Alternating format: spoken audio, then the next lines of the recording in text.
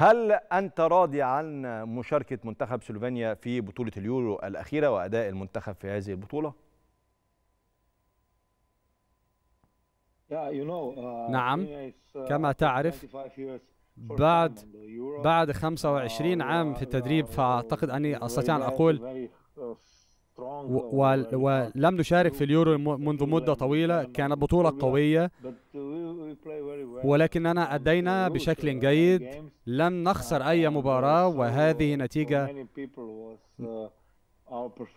نتيجة كبيرة. كان الأمر مذهلا للكثير من الناس. الأداء كان جيدا.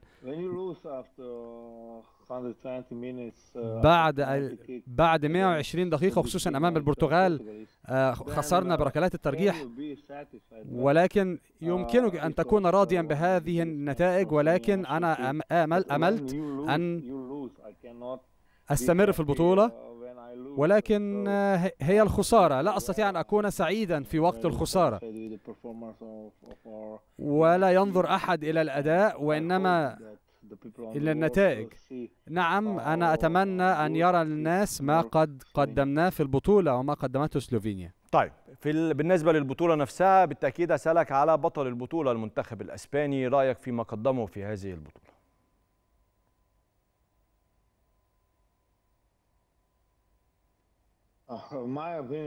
في من وجهة نظري ما قدمته إسبانيا كان هو أفضل أفضل فريق في البطولة.